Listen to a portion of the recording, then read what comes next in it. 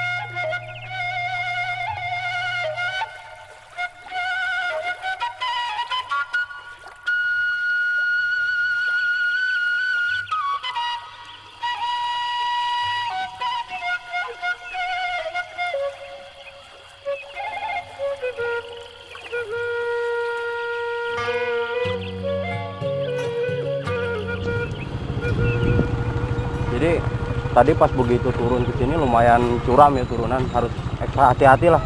Kalau misalkan tidak punya skill ataupun eh, kemahiran dalam membawa motor, wajib disimpan di atas saja motor jangan dibawa ke bawah, apalagi bawa boncengan karena sangat rawan. Ah. Ah. dan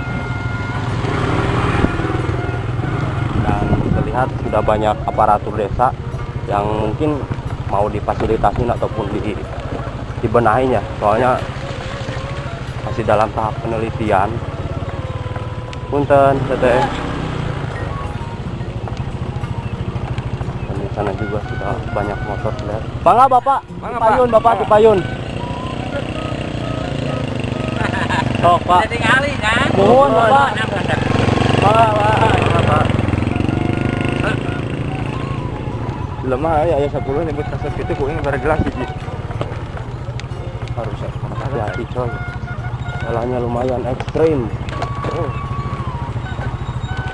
Ih.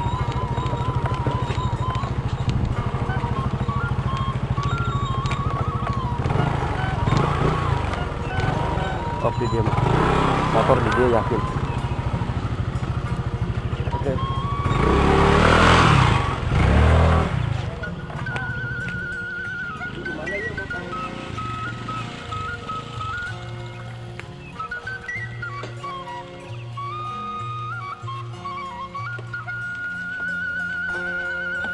Jalannya edan coy. di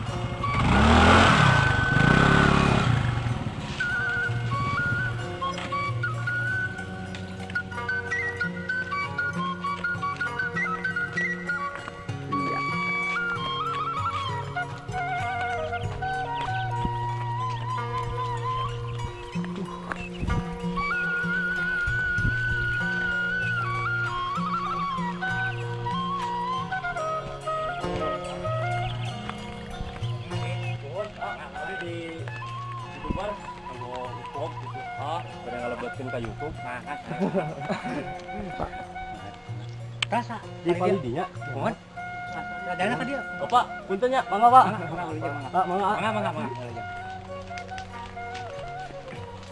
Anu sarai mah pali itu ah. di paling mana Di pali teras kalau Pak. oh terus kalau bakal itu nak Sarai batuna. siap siap Ah. Aduh nanya Mangga sama sana. jadi sekarang akses jalan udah mulai dibikin jadi tidak susah lagi lah. Udah dikasih semacam ya bambu tangga pak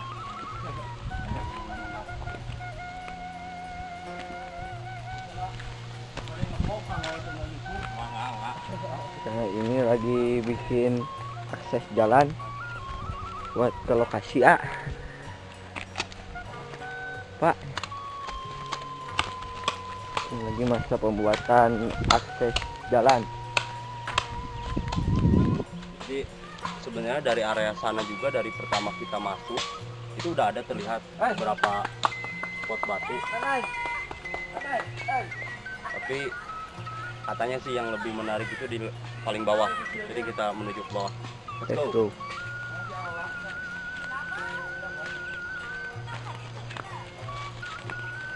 Ya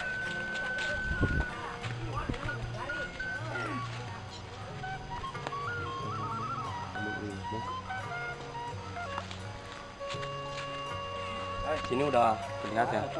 Banyak beberapa batu yang mungkin berbentuk seperti balok ataupun kubus tapi nggak nggak begitu tertata rapi gitu masih seperti natural lah. Jadi kita lihat lagi ke bawah. Eh eh anas jadi sepatu bot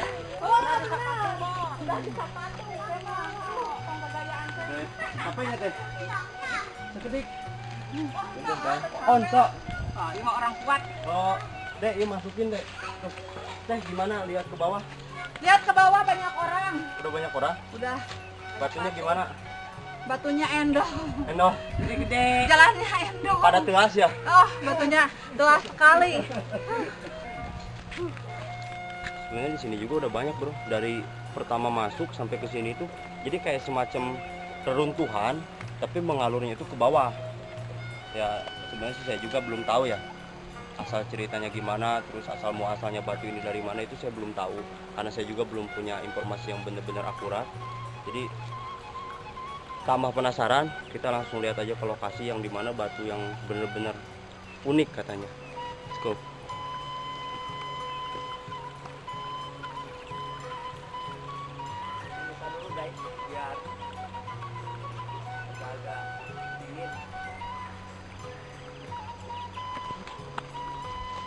Jadi kalau dilihat-lihat itu batunya itu kayak semacam balok balok ya, kayak semacam balok tapi ukurannya mungkin antara diameter ya antara lebih 60 cm ataupun lebih lah. Tapi kalau panjang itu nggak nggak rata. Jadi ada yang satu meter, ada yang 2 meter, ada juga yang setengah meter.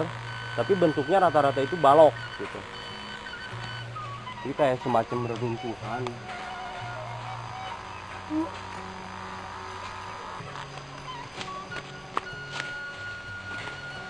Jadi saya saranin kalau misalkan kalian mau ke sini utamakan pakai sepatu ya.